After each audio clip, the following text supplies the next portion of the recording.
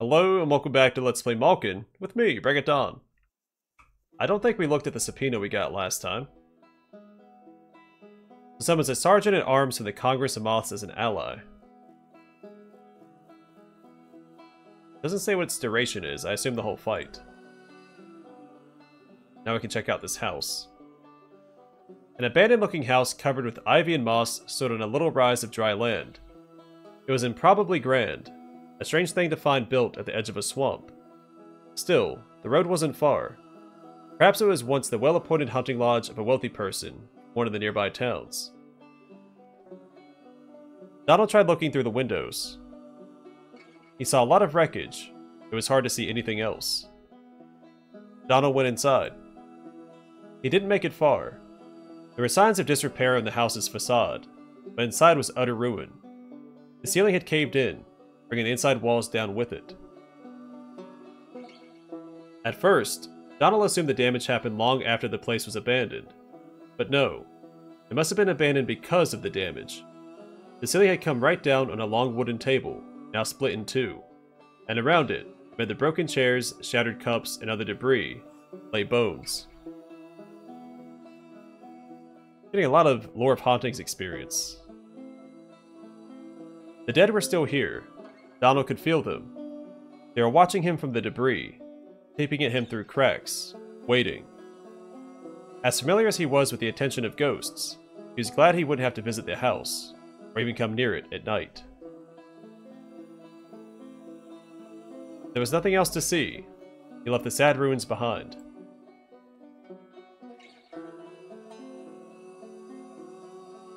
You can't journey the woods at night, either, because you're forced to go back to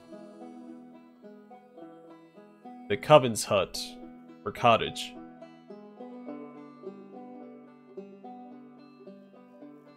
At 7 p.m. I guess you can't leave till 7 a.m.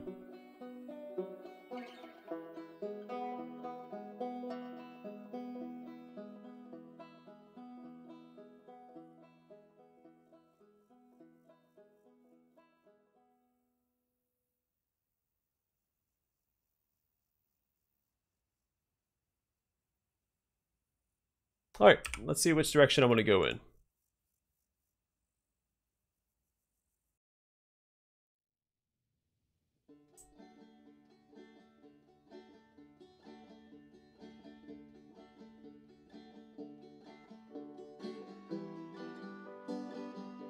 I think north.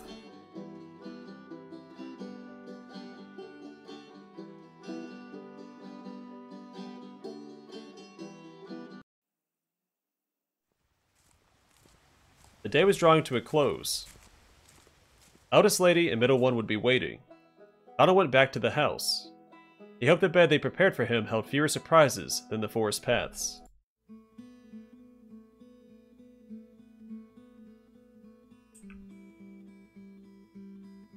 Ah, you must be a hungry witch.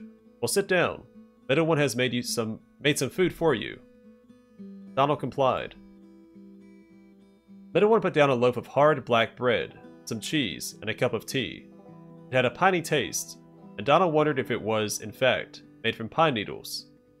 Bread seemed almost too hard to eat, but Donald was surprised to discover that it was savory, just a little sour, and very filling. It went well with the cheese. Donald broke the silence.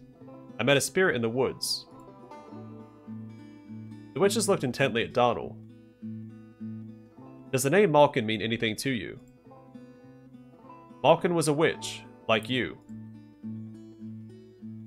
Before Nen, there was Malkin, but in middle one. He was the third in your coven. Yes, you know the laws. Always three. He was our third, before he left, and then Nen, and then you, if in fact you ever stopped pestering us with questions. He preferred independence to being coven bound. Less power true, but more freedom. What's become of him? He's alive, if that's what you mean. We haven't seen him for many seasons. We tend not to visit. He never does. Just so. Why didn't you mention him before? Why would we? Malkin didn't kill Nen, of that you can be sure. Avenging our sister is what matters to us. He agreed to a covenant breaking.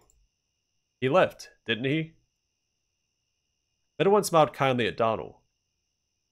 Why did the kami bring him up? The kami have lived in these woods longer than we have. They know everything that happens here, the secrets of root and stone, tooth and claw. Our secrets too. They dislike us. They look on us the way an old king might look on an upstart lord. I suppose they've taken an interest in you because you mean to join us. Eldest lady sniffed. My guess? They told you about him because they wanted to sow mistrust between you and us. The Malkin story has little to do with you. Nothing and everything. Just so. You wouldn't be here if Malkin hadn't left, but beyond that, he's unimportant. As for the Kami, they traffic in secrets. They'll try to win you over at trivial ones, and betray you and yours when it suits them. Don't let them. Can you tell me more about him? I'm curious. No, the subject doesn't appeal to me at all. Donald was unsatisfied, but didn't press Eldest Lady any further. According to Eldest Lady, Malkin had been part of the Coven before Nen. It was unclear why the Kami brought him up. Perhaps another spirit be willing to tell the young witch more. Hope your colloquy with the Kami didn't distract you from your purpose. What of your little errand? I have no blood for you. I thought not. Tomorrow then. The day after. Don't let too many tomorrows creep by. Remember, must have it on the 11th. Afterwards, One showed the young witch to his bed. It was a hard, narrow thing with a thin blanket of wool on top of it, a wooden pillow, okay, and a threadbare gray sheet. It sat beneath an open window that looked south into the woods. Uh, this will do. Thank you, middle one. He lay down and soon fell asleep. Not, meanwhile, changed back into a normal gourd, and Pharaoh perched on the windowsill all night, his head tucked into one wing. In the morning, Middle One gave Donald a tin cup of chicory root tea, and another chunk of the black bread they'd had for dinner. Be careful, said Eldest Lady, as Donald was leaving. There's treachery in the air. Don't breathe too deep. Donald noticed that she looked drained, even more haggard than usual.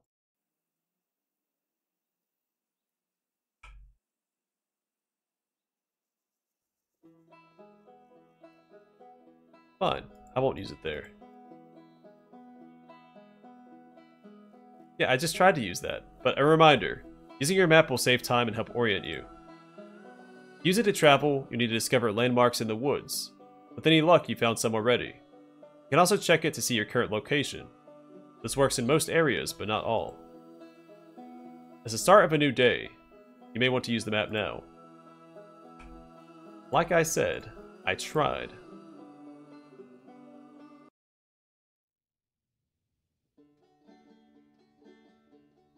I kind of go back to where we left off, but we could just continue south from where we're at and loop back around to it, right?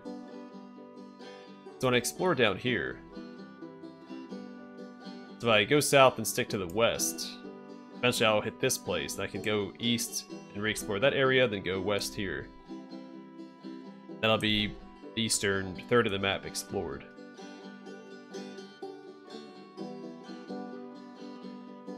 I think that's the right call.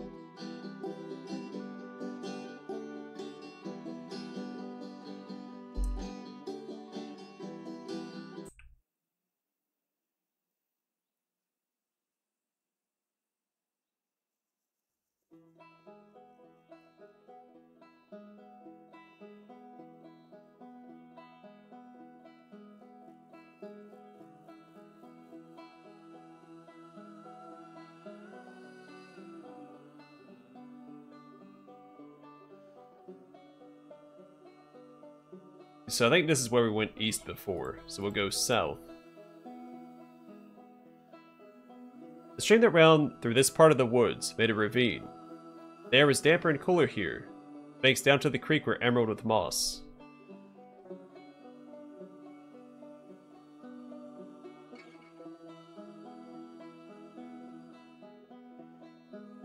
A pig onion grew here. He collected some. So what I do is when I see blue markers like that, I'm to use the arrow keys to approach it, so I don't accidentally click through the dialogue. Because I keep forgetting to go back and look at the chat log after the fact.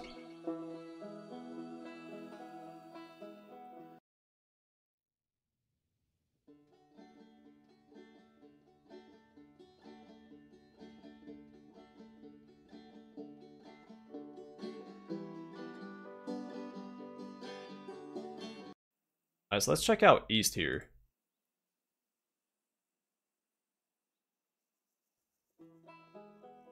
This is not new. We've been here before. Alright. I'm fairly certain. Like 95% sure.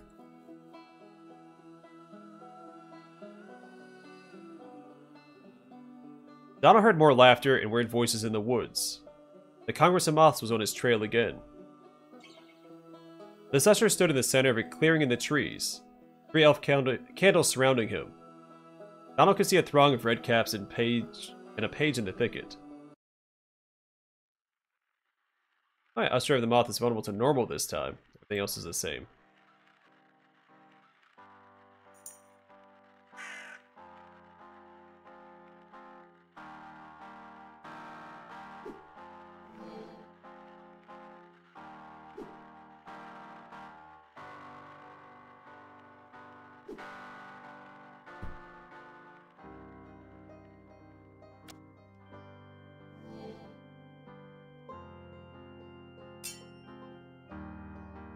Nice big hit.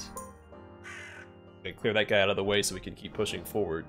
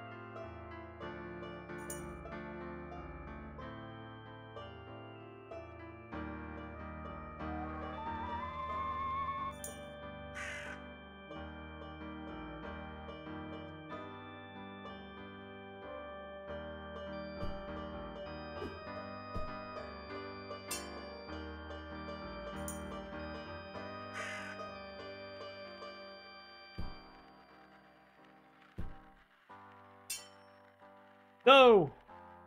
I didn't get the loot. I didn't think I was to do 12 damage to the guy.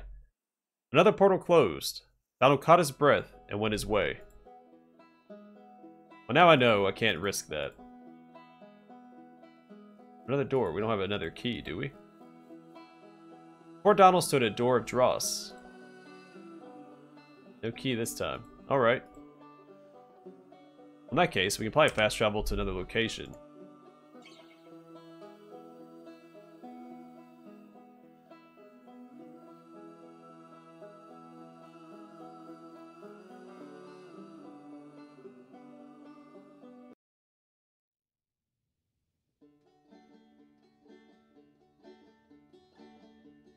Yeah, so there, point of interest, we'll need...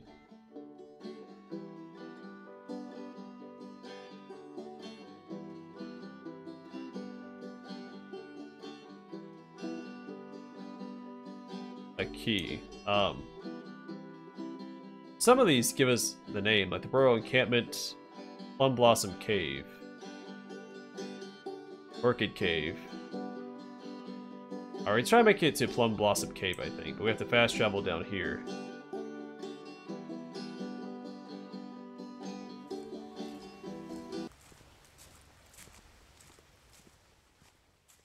Why is it blue again?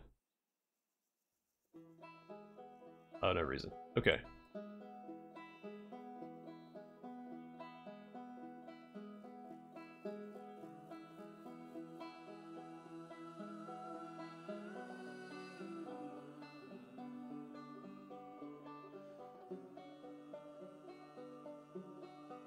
That house. Uh, I think we're gonna go straight north, right? that where Plum Blossom Cave is located? Uh, close to, maybe. We'll see. As good a direction as any.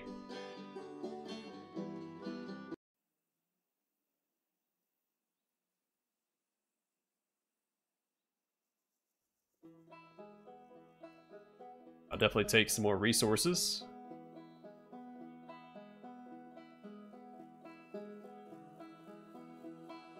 Quick save here. New landmark discovered.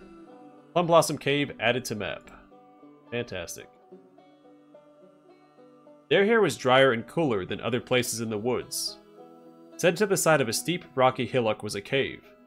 Strange to say, a thin layer of snow lay on the ground near its mouth. This thin, uh, strange to say. Dama couldn't believe it. Sang twig in the middle of summer. One of its blood-red branches was heavy with fruit, a coveted midwinter prize. Oh, cool. Adana knew of the lore of winter inside and out, and it included some legends about Sang, Sang Twig. One said that if you carried a Sang Twig switch, goblins would never steal from you. Goblins aren't real, of course, so this result was guaranteed. Another said that Sang Twig bled if it was the birthday of someone nearby. The plant wasn't bleeding, so it must not have been the young witch's birthday. Uh, still another said that Sang Twig crown sprinkled with a few drops of the wearer's blood warded off harm. He decided to test this one. The circlet was easy to fashion, and the blood easy to draw. An extra drop fell into the snow. The crown would serve. I got a Twig crown. Does what? Plus 1 constitution and plus 10% cold resistance. Which if we're going to a snow cave may come in handy.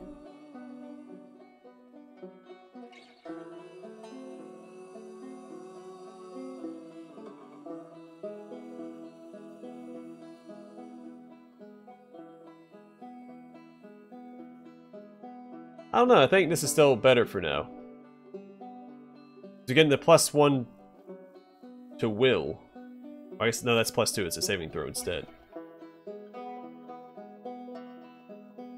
And it's plus five to all elemental resistances. I'm going to swap to the other one for now, because it may just be cold damage in here. We'll do another quick save.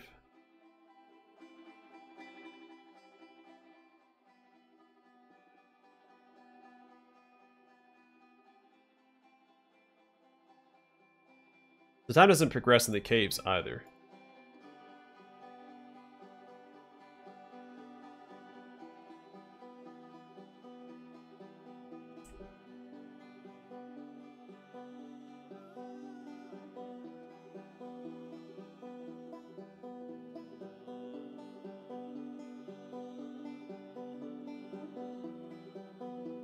Ah, more white bonnet grew here. I collect that.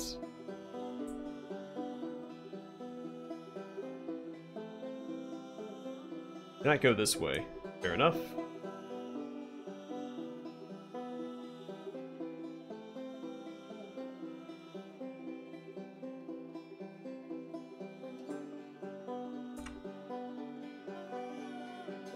There was a tomb here. Statues of demons flanked a wooden casket, unadorned except for a piece of red silk draped on top of it. Part of the cave wall had been made smooth, and a poem had been chiseled into it. Uh, Donald read it. Honeysuckle fades, the scent of plum in winter, sweet against harsh white. The young witch examined the stone demons.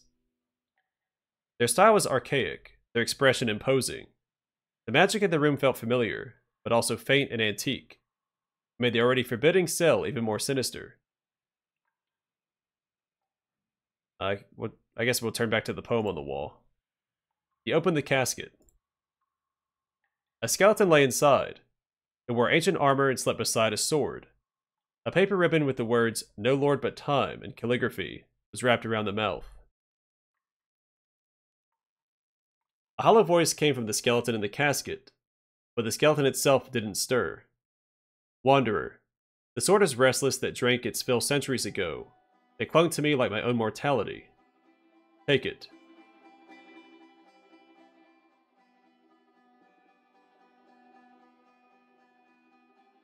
Alright, maybe it's cursed. The young witch took the sword from the casket. It was a fine weapon. The stone demon sprang to life. I defeat all enemies. I have notifications turned off. I don't know why that popped up. I defeat all enemies. Stone demons are vulnerable to magic and take full damage from acid and fire. They're resistant to all other kinds of damage.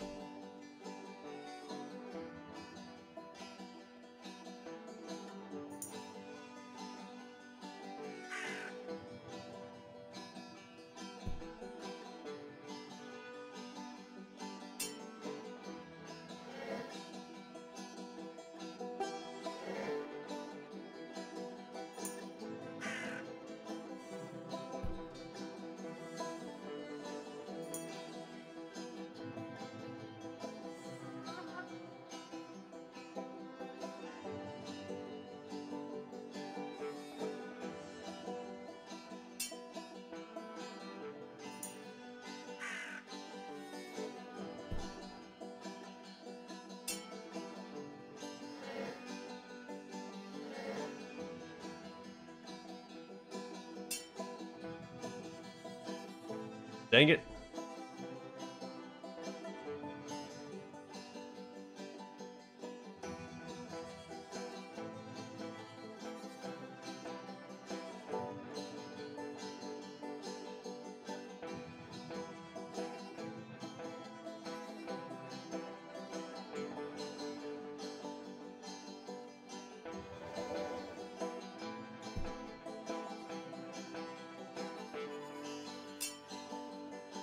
Nice.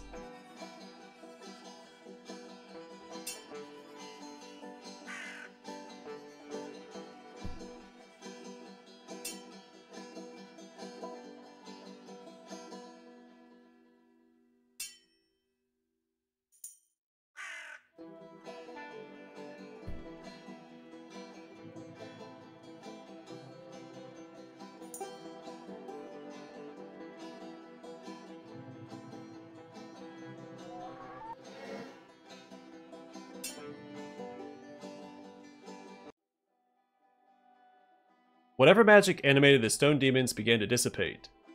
Enough remained to send them back to their posts in the four corners of the tomb. There they continue their vigil as ordinary statues for many years to come. The hollow voice spoke from the coffin again. And so a witch unsettles witchcraft ages old. Find my siblings, the other three Ronin. Take their swords and meet us at the crossroads. There we'll let you hear the ancient story. The story told will have our rest, you will have a boon. The crossroads, where's that? But the voice didn't respond.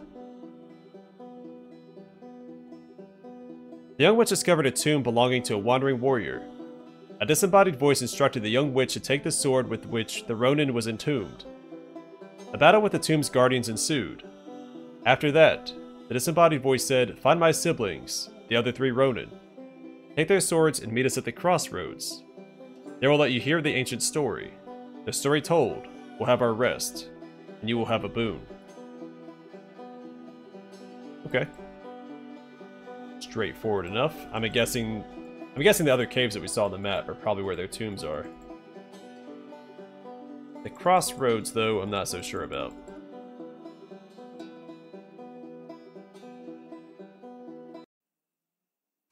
So we got a sword. Plum, the Plum Blossom Sword. Alright, so when equipped, the Plum Blossom Sword has these properties. It's two-handed melee weapon, Young Witch only, cold versus armor class, and buff. So plus 10% cold and magic resist, plus 1 attack bonus, 1 to 6 cold damage, plus strength bonus of up to 3. 15% critical hit chance, which is the highest we've seen. Only does double damage versus triple though. If the Plum Blossom Sword is used as a consumable, it gains the following properties before it is destroyed. Plus, uh, 10 cold damage, uh, 10 magic damage must be adjacent to target. I don't know why to do that though. Alright, well let's equip it.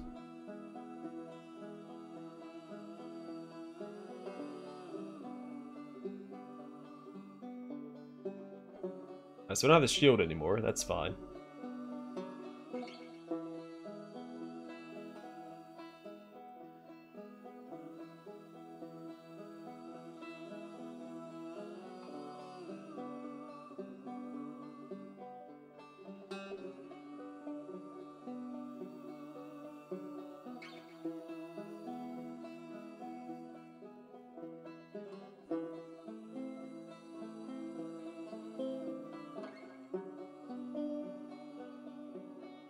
Alright, the second day's adventures are well underway when another portal appeared. Sieben stepped out, her sack slung over her shoulder. She waved. The young witch looked inside. Alright, so we need this key. She sells another one.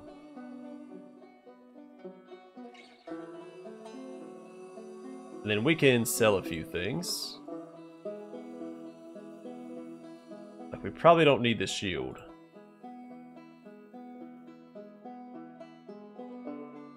The bow. The quarterstaff we can sell. And we have a better sword, so I don't know that I'd hold on to this either.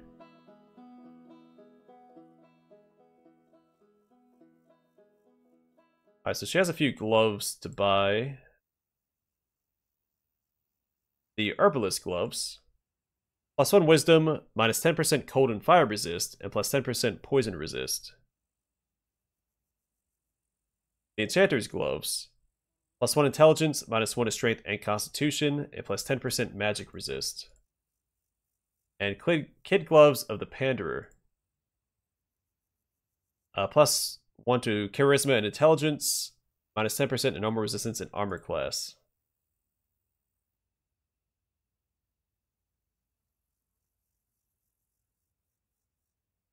So the sword we have equipped gives us cold resist, so we only have uh, minus 10% fire resist.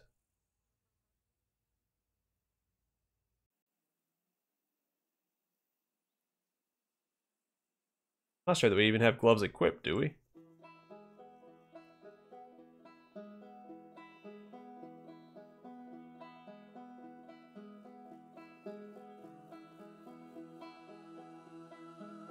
I may just take the consumables here.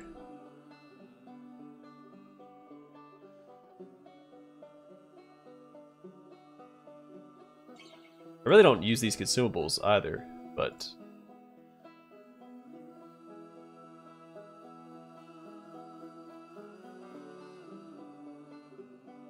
We have 41, I may as well just... Buying stuff.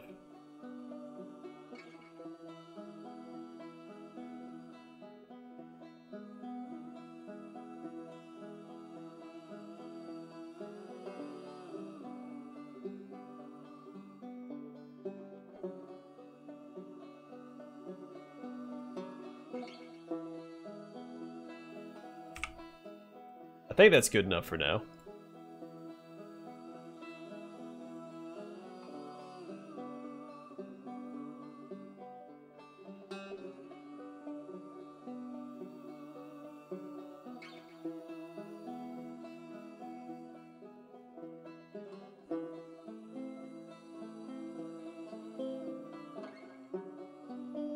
A statue stood by the path amid some brown grasses. It was covered with moss and badly worn. Donald examined it more closely. Pharah landed on the statue's shoulder and preened himself as Donald studied it. The figure had folded hands and a wolf's head. There was graffiti scratched into the torso. The writing did not look nearly as old as the rest of the statue. The young witch read it. The scratches are merely directions. A north-southeast swamp, southeast road, west inn.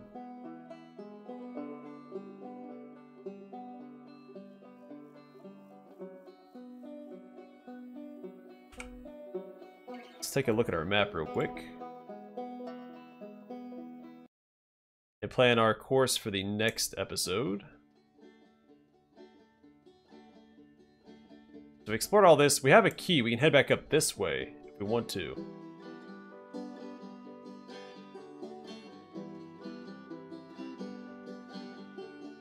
I'm assuming we could go north.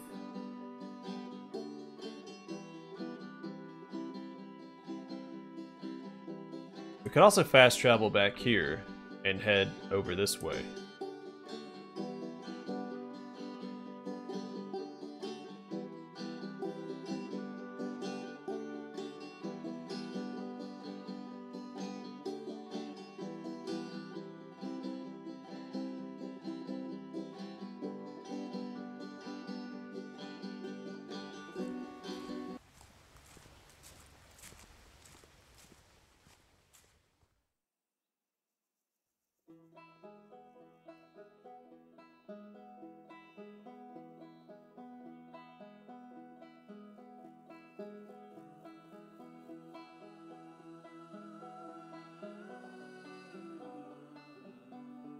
Burning daylight. It's already 2 p.m.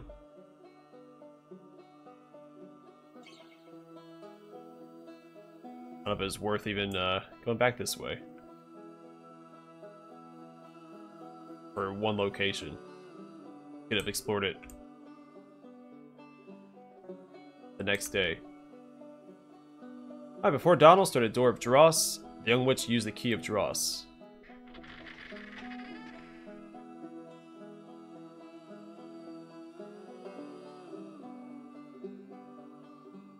Let's go knock it out. Donald came to the end of the ravine path. The banks across the water were nigh, eh, sorry, high and impassable. Dense vegetation blocked the way south, and marshy, overgrown ground lay to the east. It was a lovely spot, with a small waterfall that leapt gladly into the dark recesses of the woods. The Congress of Moths was also drawn to the spot. Two portals formed, and two ushers stepped out of them. One smiled slightly, the first hint of emotion the young witch had seen from the stern beings. A host of warriors followed them. Donald braced himself.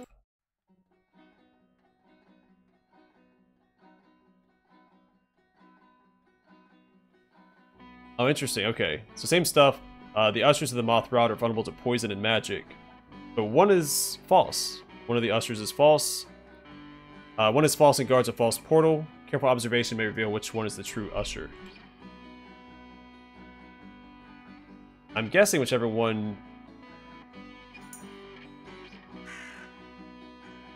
absorbs the elf candles, right? Oh, they both do. Interesting.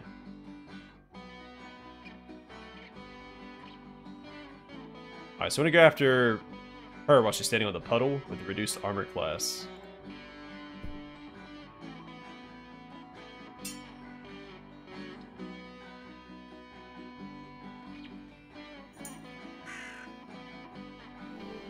Actually, I should have softened up the other guy instead.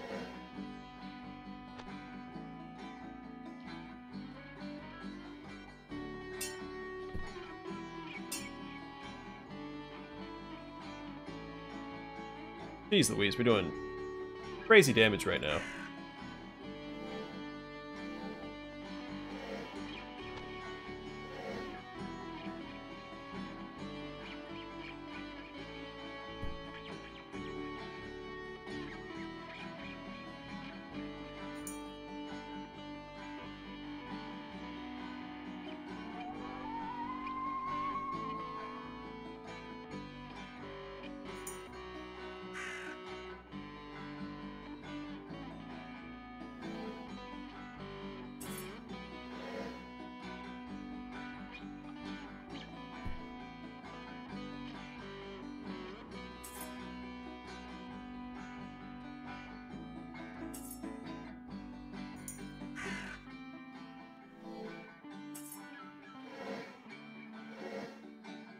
Alright, take it easy.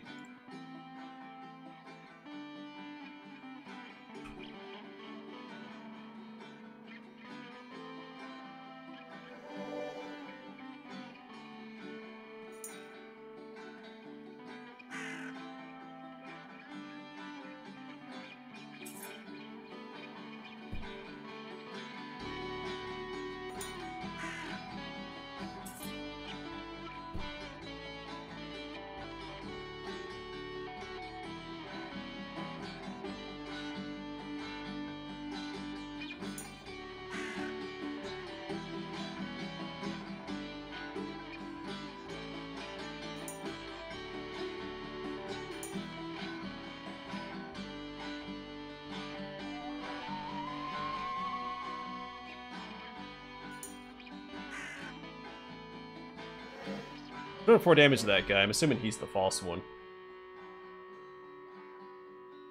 Amethyst Staff. And Amber.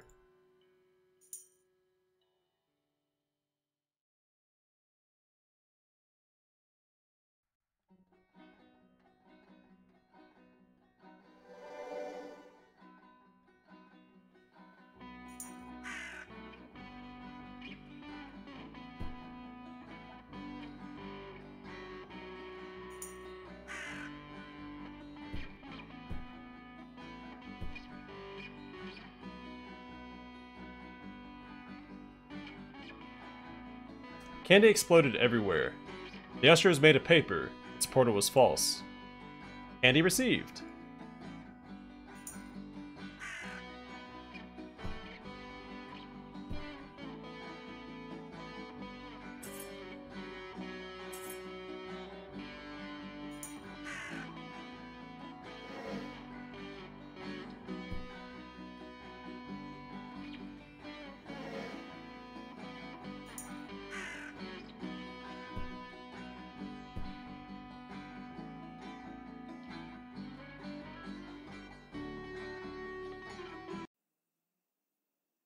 The Congress was gone.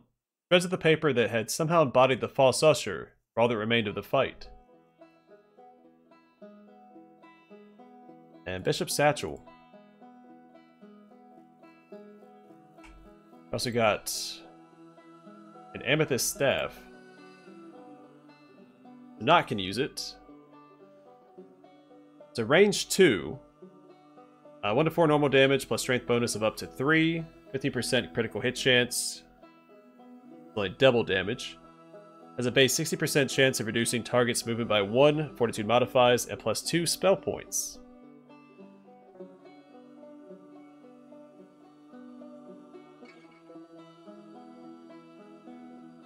Doesn't give him any defensive boost like the other one does. But the plus 2 spell points is probably worth it.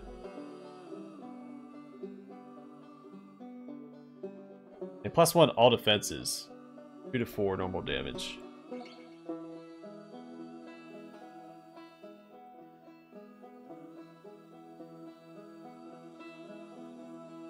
I don't know, I think the other one's still better. Plus it's a higher minimum damage. Alright, then real quick, we will travel to...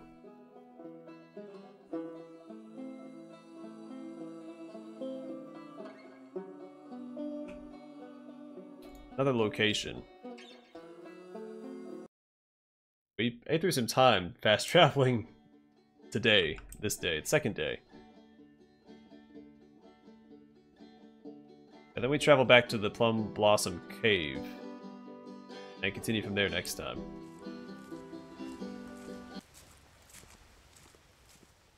In fact...